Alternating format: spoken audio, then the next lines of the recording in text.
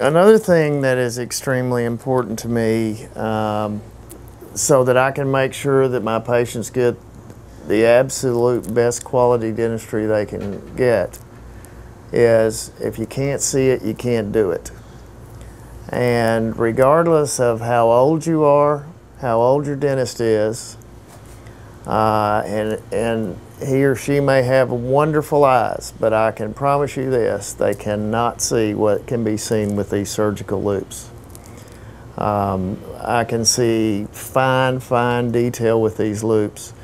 Um, granted, my vision's not as good as it used to be, but it doesn't make any difference with these because I can see fine detail and make sure that my dentistry is exactly like it needs to be.